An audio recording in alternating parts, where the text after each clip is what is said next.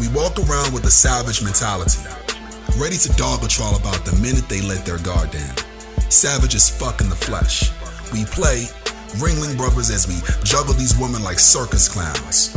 We add bodies to the list like multiplication charts. Two times two, four times four. Yeah, we slanging. But the minute they entertain one guy, our fragile little ego shrinks in size. David the Gnome Labyrinth, we don't know which way out. Nah. We are savages contained in underdeveloped thought processes.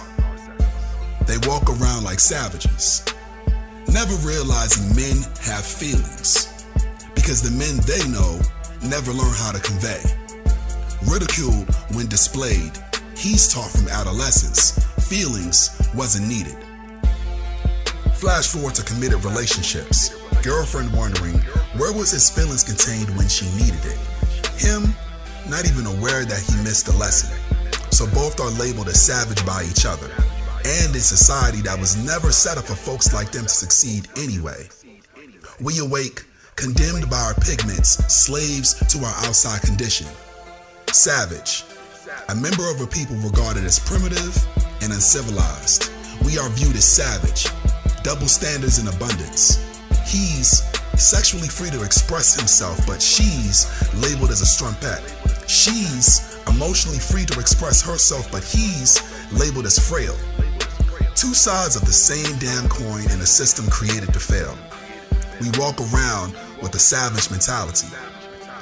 Quick to tell a woman to smile. That's the bullshit. Like we are sentinels of their facial structures. It's the stench of sexualization we think we have over bodies we don't control. Savage. And let her tell us no. Then that's when we really get offended. No. Like we couldn't comprehend. Then we really turn to savages, walking around with a savage mentality, never understanding that the melanated woman is our number one resource.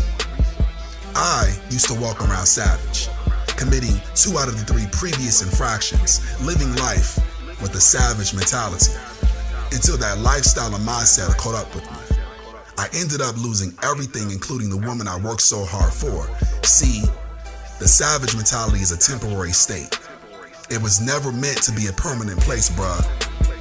My thought for you is to see a glimpse into the savagery so you don't make the same mistakes I did.